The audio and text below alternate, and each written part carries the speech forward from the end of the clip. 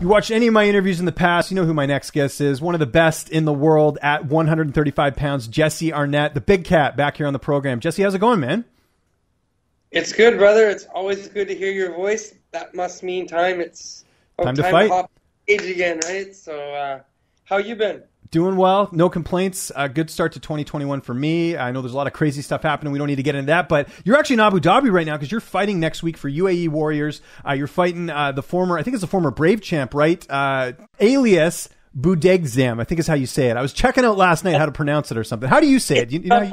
tough one. I think it's Elias Budegzam. Budegzam. He's an Algerian fighter who's based out of France right now, and uh, lot of experience. He's a 27 year old kid, and he, he's got a he's got quite the experience for a young man. He does. We'll get into the matchup in a sec because there's a lot to talk about that. But uh, you know, kind of give people an idea. How long have you been in Abu Dhabi? Because you obviously flew it from Calgary.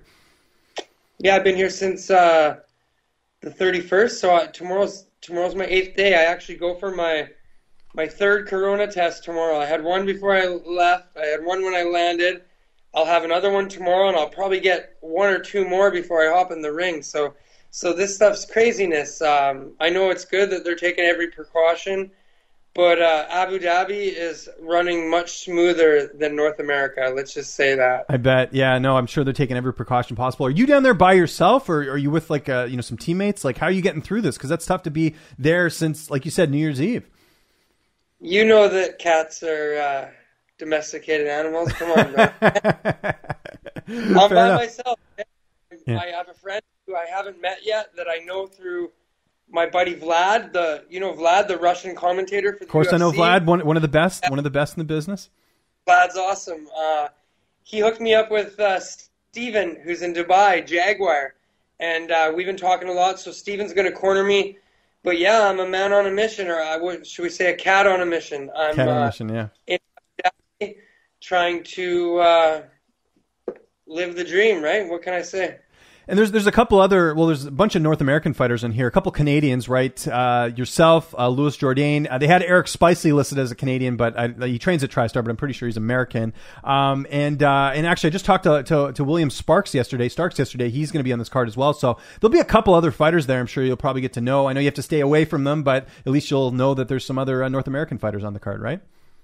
Yeah I seen that. Uh, good news for Jourdain too because he has been inactive, right? And, yeah. Uh, since TKO fell out, and he's a young prospect. And then yes, I heard this Eric guy that they live. Hey, he trains in Montreal, so we'll just call him Canadian, right? Sure. Yeah. Why not? Actually, I more, think. Yeah. Go ahead.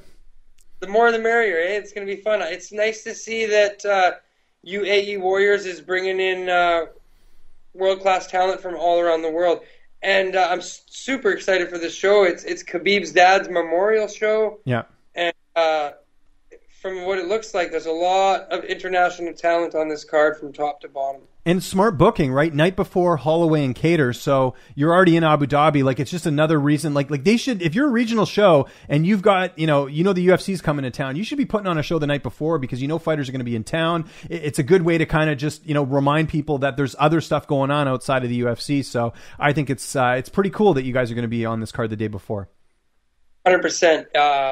Super close to Fight Island, and uh, all my medicals are in I'm ready to go. Anything go. happens, I'm ready to go. Yeah, just keep that in mind if anyone's watching. Uh, let's quickly talk about your last fight against Pedro Souza. Uh, you know, I know you would have liked the finish, but you must have been happy getting another dominant win like that. Yeah, it felt good. Uh, he was a very tough guy. You know, I hit him with clean shots a number of times, and I, I was a little bit surprised.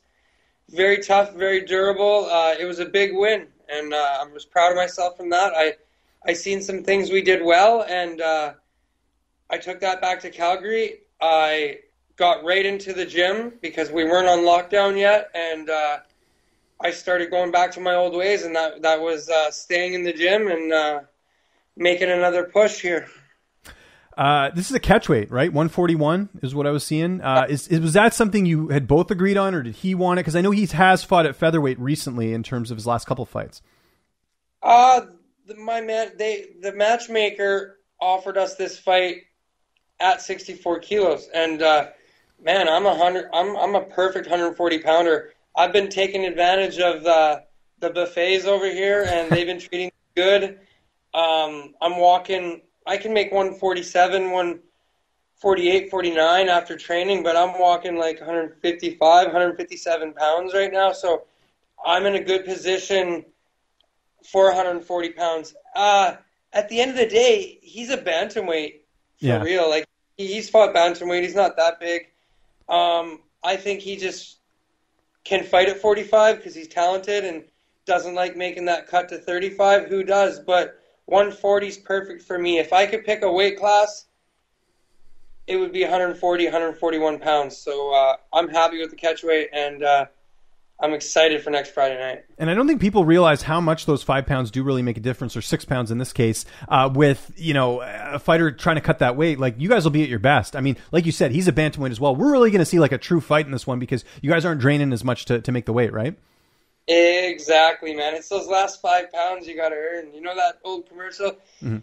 Get the last 10 pounds or whatever, but it's truly the last five pounds that, that, uh, that really are tough. And, uh, hey, I'm excited to get in there with another world class competitor and, uh, let's do it at 140 pounds. I'm fine with that. And just to give a you know an idea on your opponent, uh, Elias uh, Budegzam, he has fought you know Wh- Whale Watson, who's a UFC vet. He actually lost his title uh, in Brave to Bubba Jenkins, who's uh, you know a Bellator vet, quite talented guy. And his last fight was against Austin Arnett, a, a UFC vet who you might remember actually fought in Calgary. Um, actually, he fought Hakeem right uh, in in Calgary Yeah. when when we saw each other the last time. I think we've seen each other, which was when we had lunch uh, just near the arena at uh, in Calgary. Right, that was the last time we saw each other. So uh, this this guy's much like pretty established. I'm sure that that must get you excited knowing that you're fighting a guy that, that has fought legit competition like you have. Like it's been nothing but tough competition for you as well. Hundred percent on, paper. This is this is fight of the night. Um, Yeah. he he he had his way with Austin Arnett. Uh, Yeah. Other than the the eye pokes and and the points getting missed at the end, it was a little bit of a controversial third round, but uh, he controlled Austin Arnett. And what are the chances in this fight game? Probably one in a million of fighting both Arnett's back to back. That's We're the only right. two Arnett's in this game, and this guy's got us both back to back. It's crazy. By the way, do you remember when Austin Arnett fought Hakeem and they released uh, UFC Canada like put your Twitter handle instead of Austin's? Do you remember that happened? Everyone's like, Jesse's fighting Hakeem. What? That's crazy. Remember I that? know. That I nuts. know, and then Austin even tweeted the UFC back. Come on, guys, get this right. yeah, get the right Arnett in there. Yeah, I know that, that's funny. Um, you talked about training camp a bit there. Who did you get to work with? I know you, in the past you've worked with Curtis Demarce. Uh, who are some of the training partners you've had leading into going to Abu Dhabi? Well, in Al- Alavanca, really, my, my jiu-jitsu gym has been home base. Uh, my boxing gym's been shut down. Um, I've been working with my Padman Johnson in my basement at my house. I have a little gym at my house. Uh, lockdowns and quarantines, man, it's been an interesting year, as as you know. Um, Tim Blanchard and the guys at Alavanca, we we would arrange some time for some professionals, and we'd get in there, and uh, I got some good training, and and I had a lot of experience this year. I had that jiu-jitsu super fight. I had that fight with Adam McDougall early in the year, and then I capped the year off nicely with Pedro Souza. So Pedro Souza, excuse me. Um, I had a good year. I got some solid training in. Where Elias is strong would be on the floor. I think I had my best year in the gym with sports jiu-jitsu. So, and the guys on my team, they're a bunch of killers, man. They're they're ankle biters. They're going. They're they're all new age. They sit on their butt and they say, "Let's go!" Right. So I'm used to that high level new age jiu-jitsu, and uh, where Elias is strong, I have good partners at home, and uh, we did our homework early. I'm always going to show up in shape. Um, I've been in this hotel for the last eight eight days, doing twice a days on the cardio because I haven't done a lot of sparring in the last two weeks, my body's healed up. I feel fantastic, man. Like with my experience, um, my age of the game, I don't need to be sparring and banging lots Of near course. the end. Once you've done it once, you've done it. You know what I mean? Like you've had those reps in already, right? Hundred percent, hundred percent. It'd be nice this weekend. I, uh, tomorrow I get my final test. I, I can get out and I'm meeting up with uh, Pablo.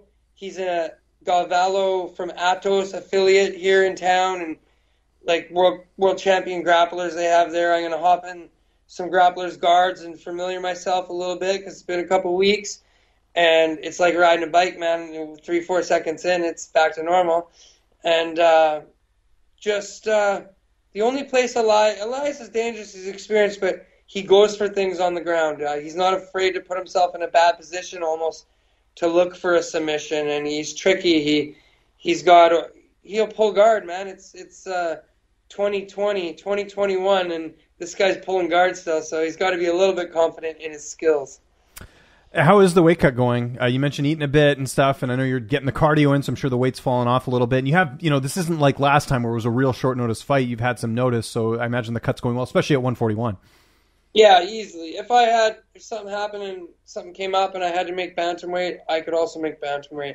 There you go. Um, I'm in a good position right now. However, I'm getting treated good downstairs at the buffet. So uh, knowing I'm knowing I'm going 140 pounds, 141 pounds, I have been eating a little bit extra. I, I don't want to. Uh, I don't need to be 148, 150 pounds in the ring. I can be 155 pounds with this guy. And you know what? He, he he's fought featherweight.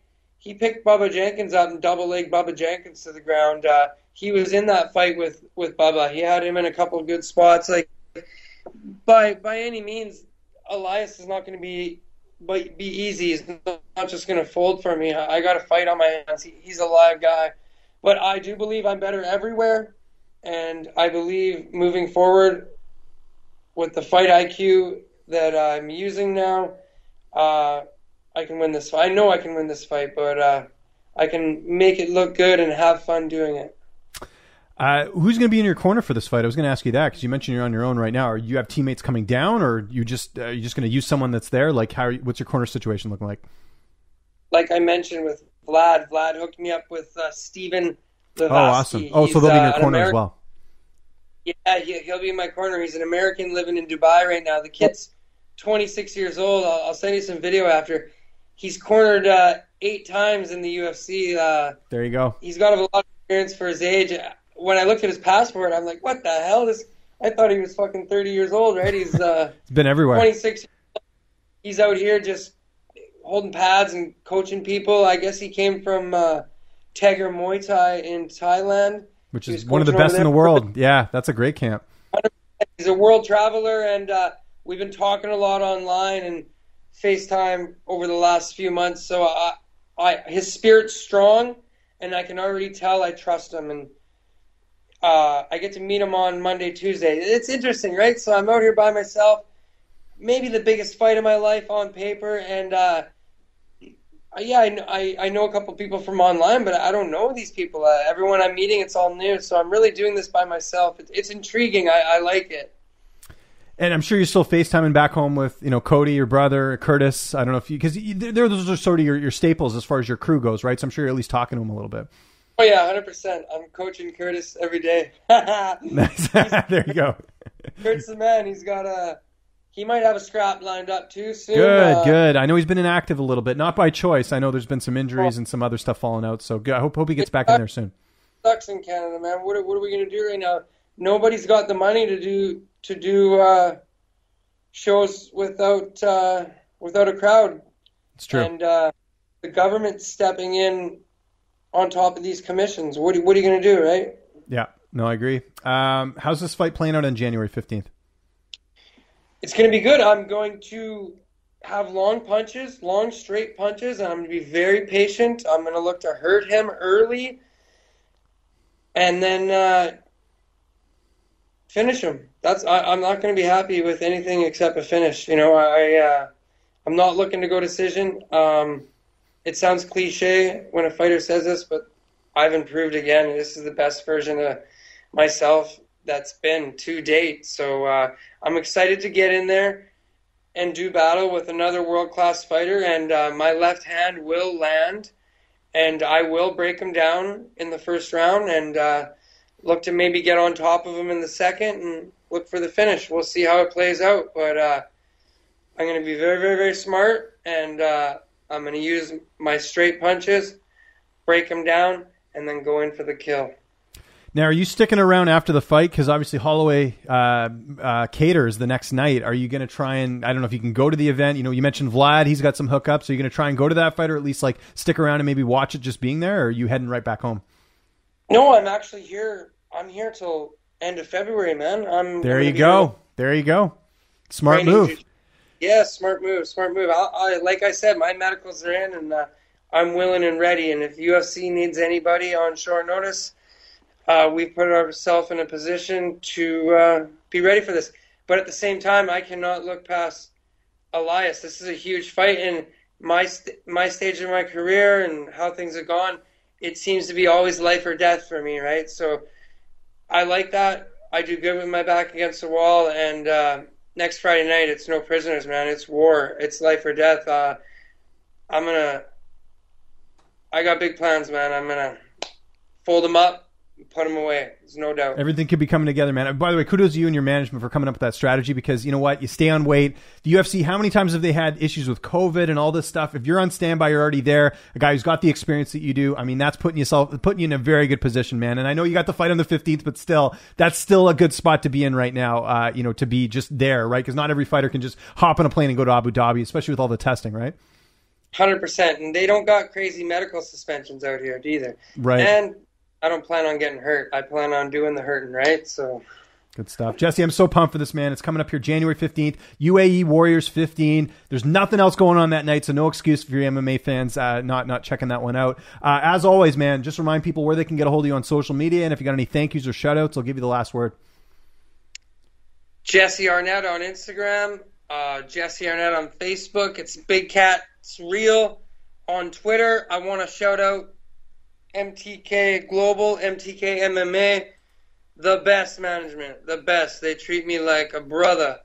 I want to shout out my brother from another mother, my my manager Rizvan. This guy is phenomenal, man. The relationship I've built with this man over the last few months, he's he's more than just a manager for me. You know, I, I can tell he really cares, and he he puts a lot of time into his job.